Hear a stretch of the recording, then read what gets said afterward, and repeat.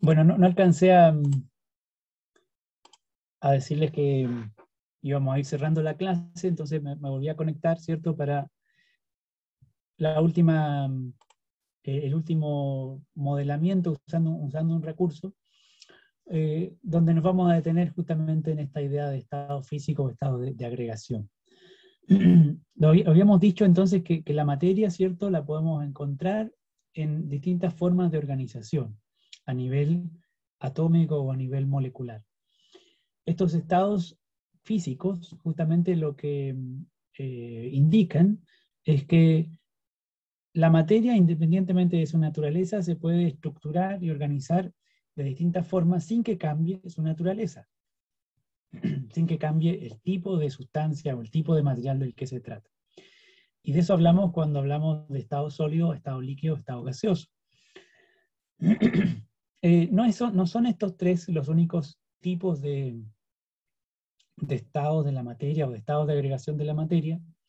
Sin embargo, sí son los que podemos encontrar de un modo más frecuente en, eh, la escala humana del, mundo. Pero a nivel de escala universal, hay sin duda muchos otros tipos de, de estados de agregación y especialmente algunos que son muy frecuentes, como por ejemplo el caso del plasma que está aquí representado, como un tipo de agregación o de estado físico distinto de los otros tres y que especialmente muestran unos signos que podemos identificar como signos positivos y signos negativos. Eh, ¿Por qué puede ser relevante el plasma? Básicamente porque eh, es el tipo de estado de agregación o el tipo de estado físico en el cual se encuentra la materia, por ejemplo, en las estrellas. Y resulta que lo más abundante en el universo son las estrellas y también, lo, podríamos decir, los gases interestelares, eh, o sea, las partículas que las mismas estrellas emiten, incluido el Sol, por supuesto. Eh, así es que eh, tanto las estrellas como el, material que las, las, estrellas emiten al espacio está en forma de plasma, por lo tanto el plasma es el estado físico más abundante en el, universo. Pero a escala humana, en general, no nos topamos con el plasma, salvo porque vemos al Sol y el Sol, por supuesto, nos, proyecta, nos transmite energía.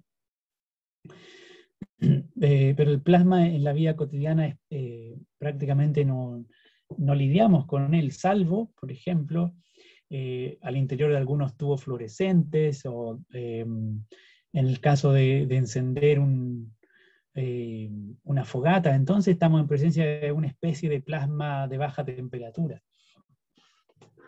La, flama, la llama de un, fuego puede ser un plasma de baja temperatura.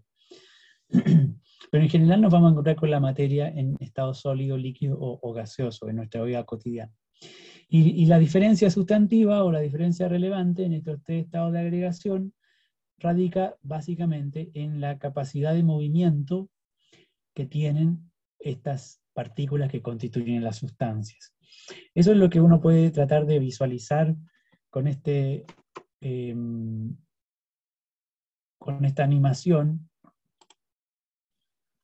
de un, simulador que está en, la página de FED, donde lo que comparamos justamente son tres tipos de sustancias. Aquí tenemos, no, cuatro tipos de sustancias. Tenemos, eh, por ejemplo, neón, o sea, átomos de neón eh, es un elemento químico, por lo tanto todos los átomos aquí son iguales, y los tenemos dentro de un recipiente cerrado, podemos medir la temperatura. En este caso, la temperatura está en escala Kelvin, dice 14 Kelvin, es una temperatura muy baja. Recuerden que el cero absoluto, el cero eh, al cual se supone la materia puede alcanzar un límite, digamos, de temperatura baja, eh, está apenas, en este caso, 14, eh, a 14 Kelvin, muy poco, muy poco por arriba de ese mínimo absoluto.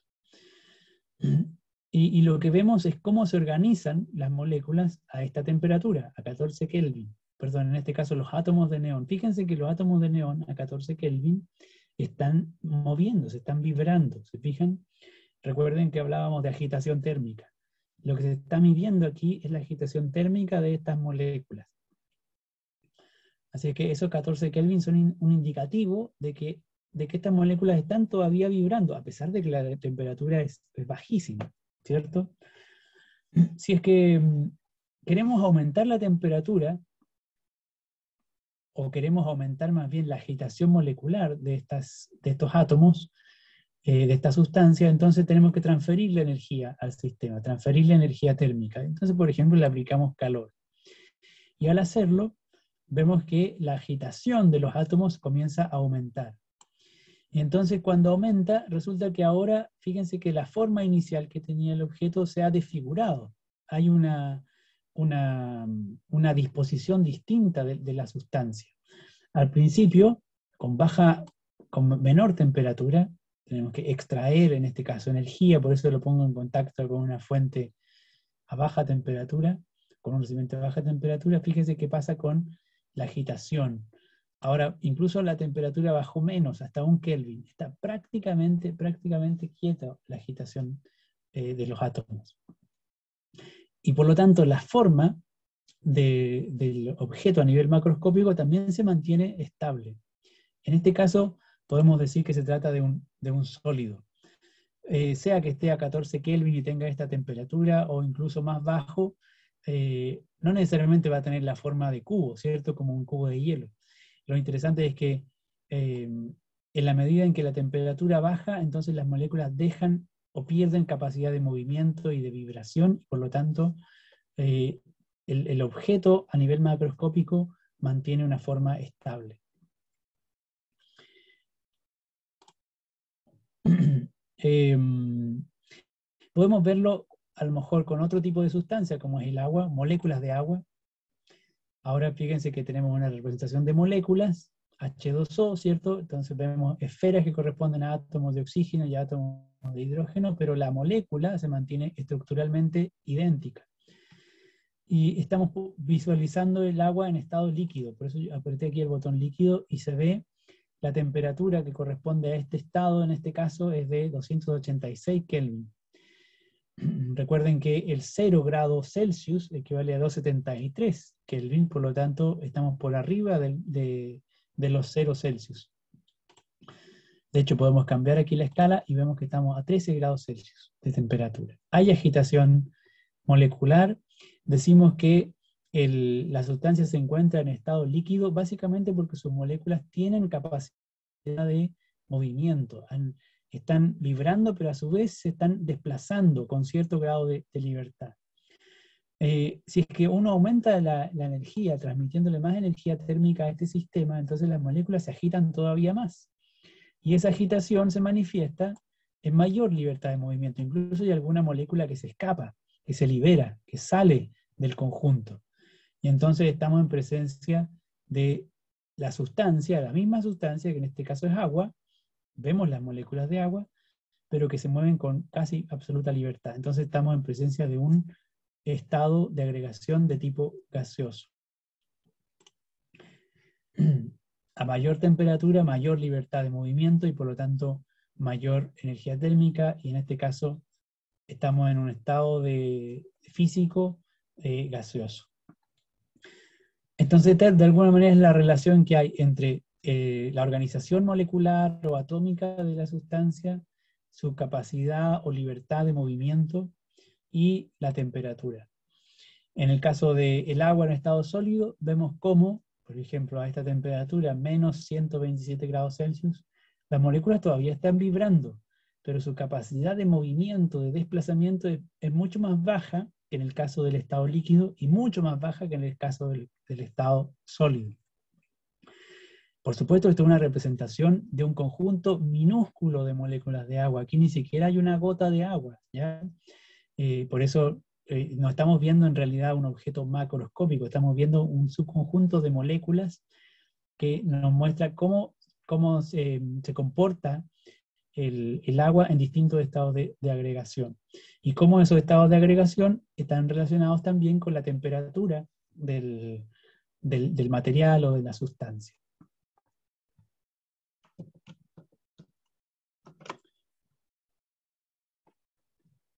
¿Algún comentario o, pregunta?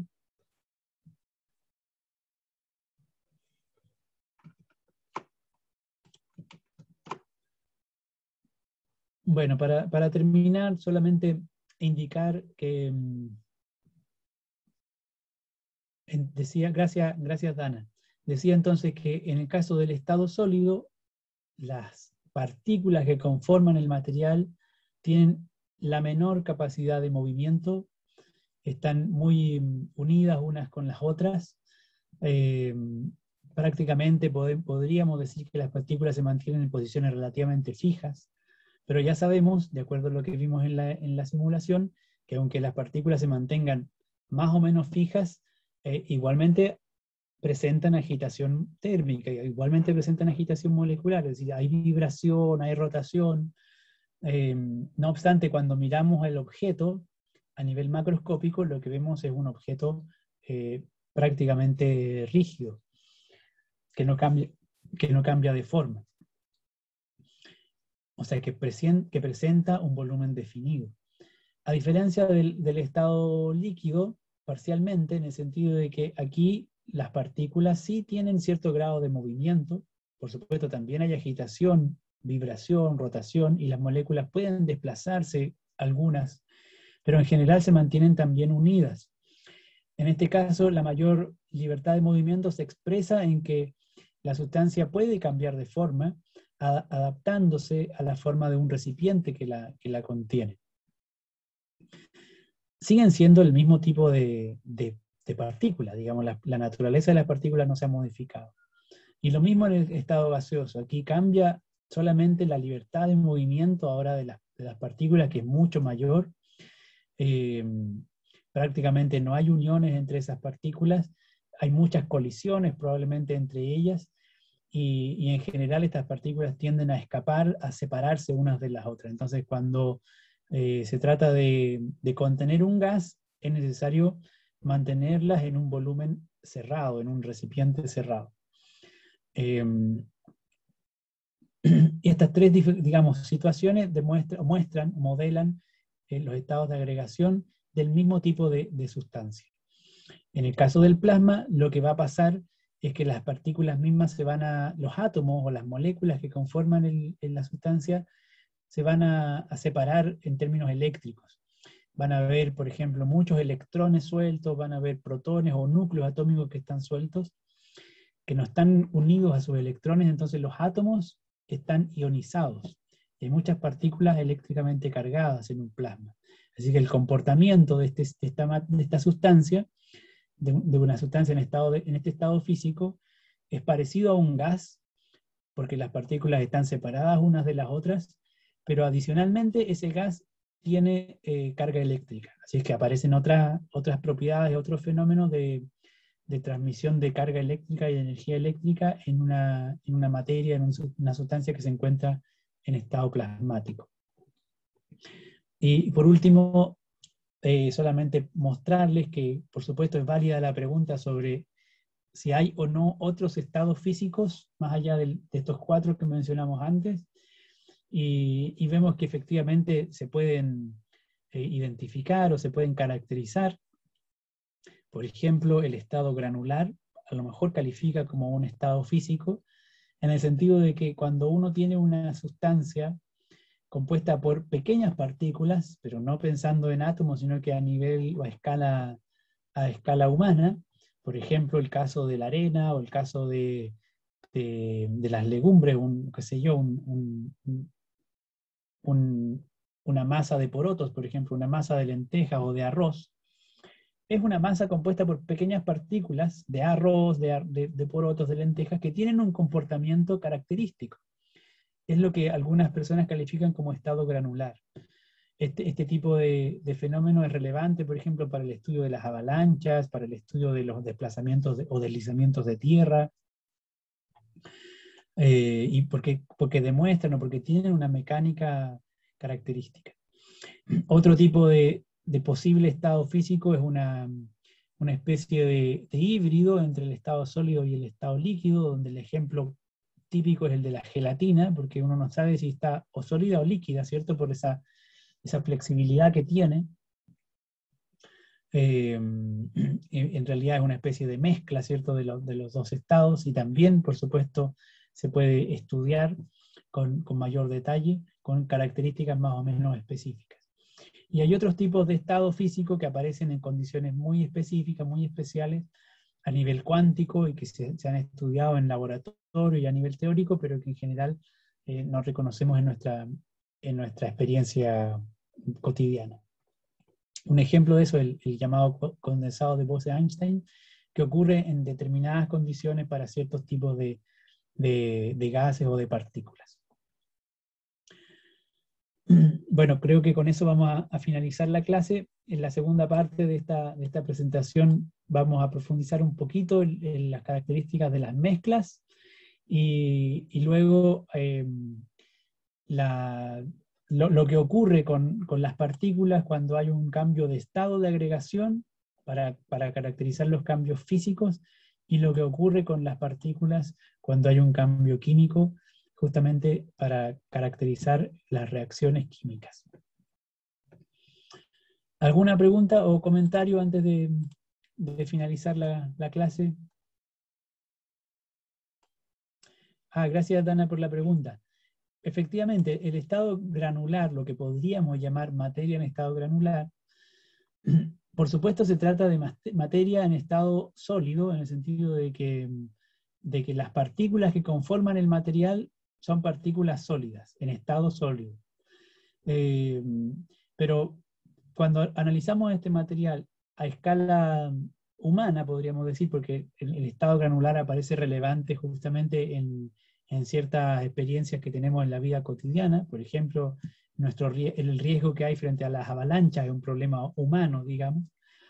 Em, entonces resulta relevante no estudiar el estado de cada grano de arroz o de cada, em, digamos, partícula de hielo que conforma la nieve que, que finalmente da paso a una avalancha, sino que lo que resulta relevante es estudiar el comportamiento del conjunto de partículas. Y ese conjunto de partículas, por ejemplo, pensemos en el caso de la taza de arroz o de la taza de, poroto, ¿cierto?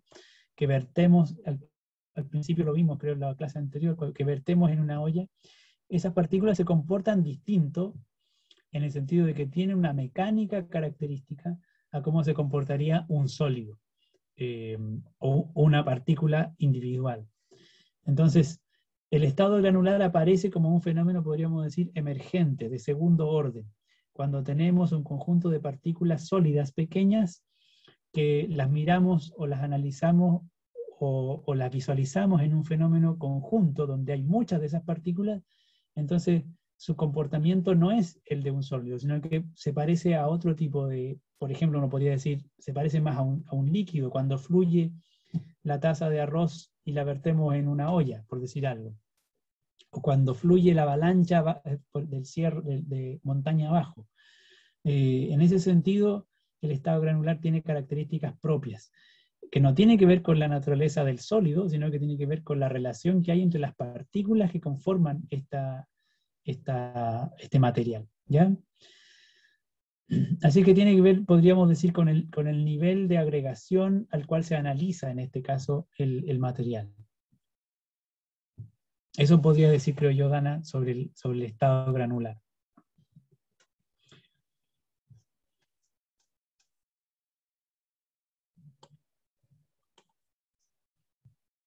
Bueno, espero que no haya entonces mayor inconveniente en torno a estas ideas. Eh, de ser posible, por favor, revisen lo que queda de, estas diapositivas para ojalá tener algún diálogo en la próxima clase y alcanzar a abordar un par de ideas más eh, relacionadas con las transformaciones de la, materia y concentrarnos en, el ejercicio final de, mm, análisis y composición de, de reacciones químicas. Es lo que puedo decirles hoy día entonces. Me despido. Que tengan una buena tarde, un buen fin de jornada.